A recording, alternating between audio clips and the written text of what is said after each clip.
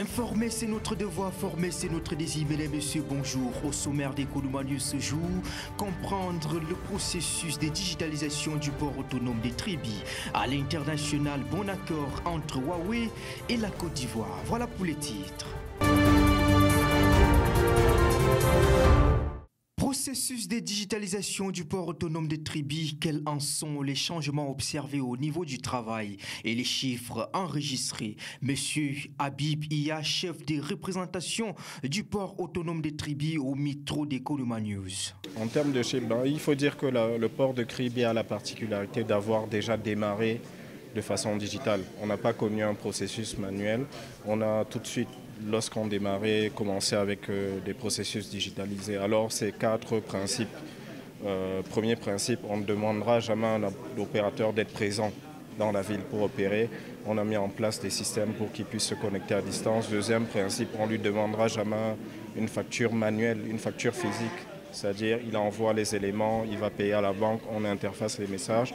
Troisième élément, on n'a pas d'autorisation sur papier tout se passe dans le système d'information. Et quatrième élément, c'est cette animation de la communauté opérateur autour d'interfaces digitaux. Voilà un peu nos principes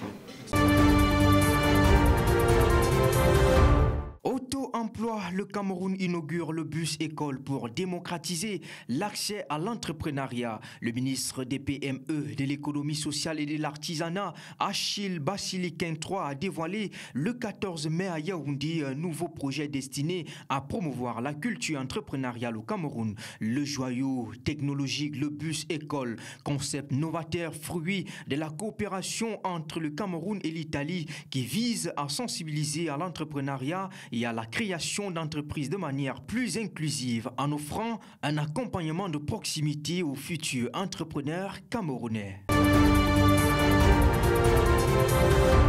À l'international, Huawei promet 200 000 francs CFA aux étudiants bénéficiaires d'un stage dans le cadre du partenariat avec trois écoles en Côte d'Ivoire. Le fournisseur mondial d'équipements et d'infrastructures d'éthique compte bien soutenir l'excellence en milieu académique. Le géant chinois a signé le mercredi 15 mai 2024 à Abidjan un accord de partenariat avec trois établissements publics de l'enseignement supérieur. Le partenariat vise à offrir des opportunités de stage et d'emploi aux meilleurs étudiants.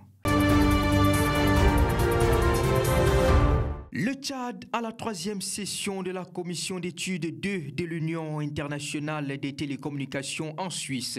La directrice des affaires juridiques et du contentieux du ministère des télécommunications et de l'économie numérique, Aboubakar Fatim Zahia, a apporté la contribution du Tchad sur les questions qui mettent en lumière les efforts du Tchad en matière de développement des télécommunications suivant le thème le renforcement de la santé numérique dans les structures sanitaires au Tchad et la lutte contre le vol des téléphones mobiles au Tchad.